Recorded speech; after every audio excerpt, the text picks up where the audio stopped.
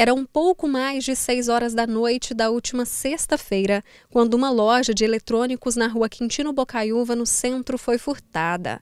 Pelas imagens feitas pela câmera de segurança, dá para perceber o homem passando pelo local. Ele analisa o que tem na loja e depois volta. Força a porta de vidro e consegue abri-la. Dá uma volta nos arredores para ver se não tem ninguém por perto. Coloca um boné dá mais uma olhada e furta um computador.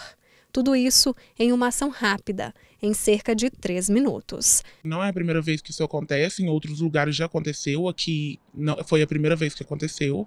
Ele está acostumado a roubar já, a gente já foi atrás, já conheceu sobre, é, ele já roubou em outros camelódromos, já roubou eletrônicos, celulares.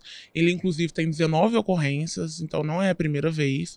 E, assim, para a gente foi um susto, porque eu fui saber no outro dia de manhã, é, às 9 horas, quando a minha funcionária chegou, ela me ligou para contar sobre o ocorrido. O homem entrou por esta porta. A galeria de lojas ainda estava aberta, pois o local costuma ser fechado às 7 horas da noite. Mas a loja de eletroeletrônicos foi fechada às 6 horas. Ele aproveitou a oportunidade e furtou o item. Não é a primeira vez que ele furta, igual você falou aí, eu falei também. É, lá no Camelódromo Central, ele já furtou várias e várias vezes. E assim, ele não tem medo nenhum, né? Pra aparecer com a cara limpa desse jeito, ele já tá acostumado a fazer isso daí e continuar de cara limpa. O prejuízo para a empresária foi de 6 mil reais.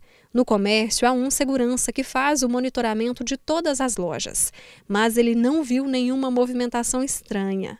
Depois do susto e do prejuízo, agora fica a sensação de insegurança. A gente fica com medo, né? Porque igual a gente costumava ir embora seis horas, né? Que é o horário comercial, né? Aqui.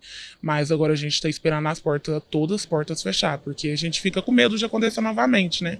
Porque é bem igual a gente fala, né? Quando faz e é muito fácil, acaba que volta de novo, né? Então, assim, a gente fica bem, bem receosa.